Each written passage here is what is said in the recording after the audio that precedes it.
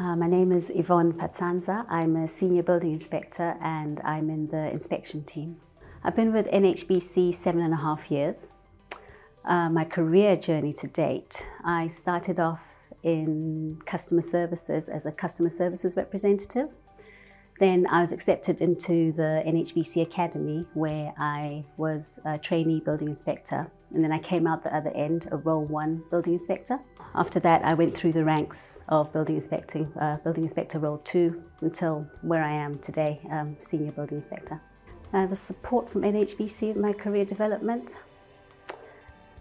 it's been a collection of individuals who at certain times have helped me for example, when I was in customer services, I was in a one-to-one -one with my team leader um, on the customer services team and she asked me where I wanted to be in five years. And so I told her I wanted to be a building inspector and she pointed me in the right direction, um, advised which courses I should do.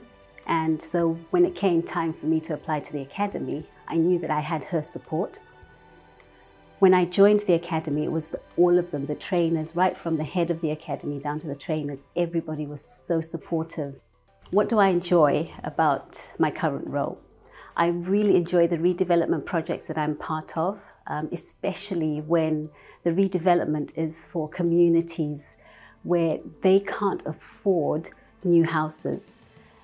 But the redevelopment is mainly for them and it keeps the fabric of that community together. I love the opportunity to do things outside of my day job.